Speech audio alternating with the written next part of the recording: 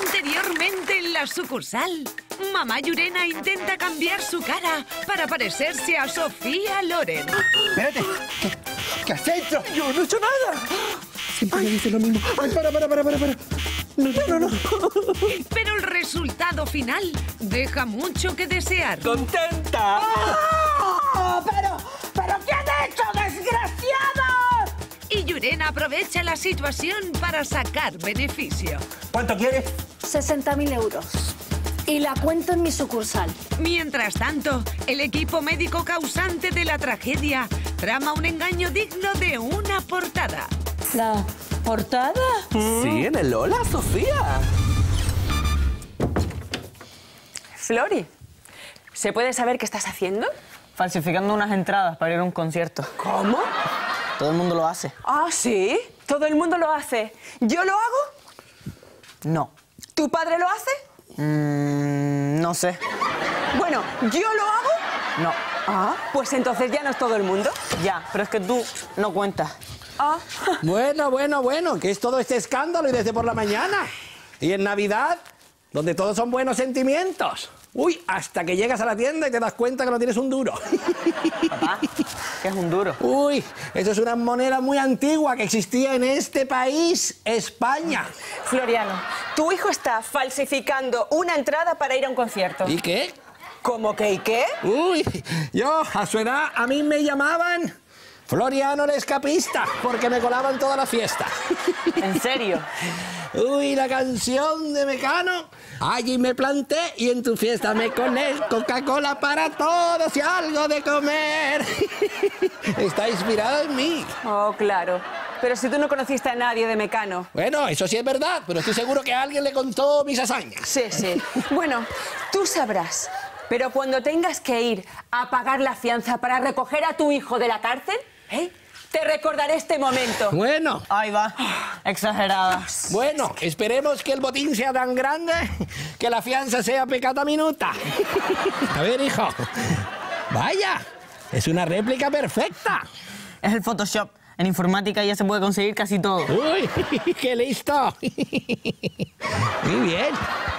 Yo no entiendo cómo no la reconocen. Es verdad, sí, es igualita. ¿No será que como es una actriz de época la gente no se acuerda? O que hay una epidemia de Alzheimer. ¿eh? Que alguien me lo explique, porque ni los de mi edad. Tampoco es que estés tú todo el día en la calle, mamá. Pero si incluso he ido al club náutico. ¡Ay, el club náutico! ¡Ay, yo no la había visto nunca por allí! ¡Eso soy socia! No, pero pensé que siendo Sofía Loren me dejarían pasar. ¿Y? Me pararon, les llamé paletos y les dije que no había en el mundo un club que no dejara pasar a Sofía Loren. ¿Y? ¿Cómo que y? Que llamaron a la policía y tuve que salir como una loca cuando oí el ruido de las sirenas. Bueno, pues yo vuelvo y repito, no lo comprendo. ¿Será la ropa? Me voy de compras. Mamá, ya no queda sitio para tanta ropa en casa. Que no me llames mamá, que me hace mayor. Llámame Sofía. La. ¿Ustedes están seguros que cuando la operaron no le tocaron el cerebro? Imposible. Pues ya me dirán. No, no, ya me dirán, ¿no?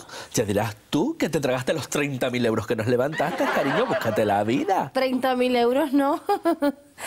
300.000 euros. ¿Pero qué dice? ¿Ah? A lo mejor se piensa que con la pasta que ganan ustedes aquí estafando a la gente me voy a conformar con 30.000 euros. Y dale con Teresa de Calcuta. Niña, que trabajas en un banco. Pero es que el banco no es mío. Y esto, sin embargo, sí es tuyo. Ajá. Sí, de él, pero mío no. Bueno, pero como si lo fuera. Oye, ¿es verdad? ¿A qué lo dices? Eso no lo hemos hablado. eh. Tenemos que hablarlo en casa, ¿eh? Pero, lo que me faltaba a mí ahora...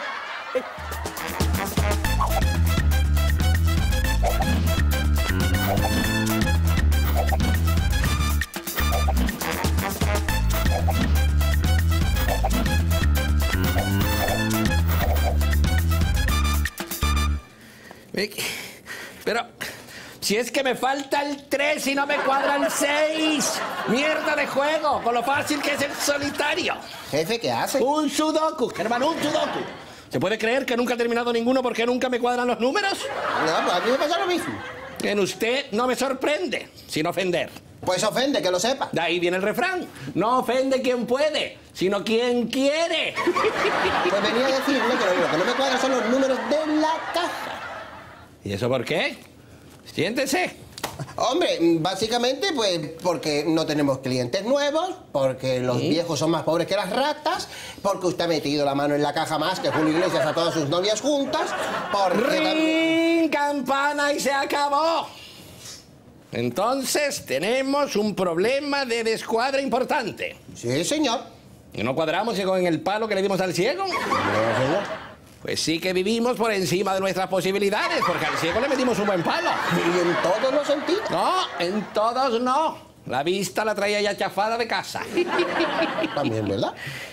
Pues algo tendré que pensar. Sí, porque estamos a finales de año y la auditoría premia. ¿Qué dijo? ¿La lotería premia? No, la auditoría apremia. Pues mire que se me acaba de ocurrir una cosa.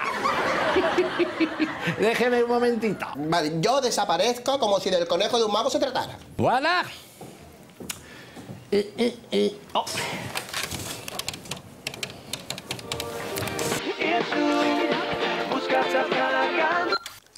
¿Sí? Eh, Flori, ¿qué haces? Nada. Estudiar, jugar a la Play, ver una serie por el ordenador, whatsappear por el móvil. Pues para no hacer nada, mira que haces cosas. Oye, ¿eso del Photoshop ese mm, funciona? Claro. ¿Y se puede falsificar cualquier cosa? Menos dinero, casi todo. Y el dinero también. Pero es que aún no he encontrado el papel. ¿Eh? Sí, que estos que fabrican la pasta lo ponen realmente difícil. Mira, Al Capone, digo, Flori, te voy a encargar una cosa a ver si eres tan listo como dices.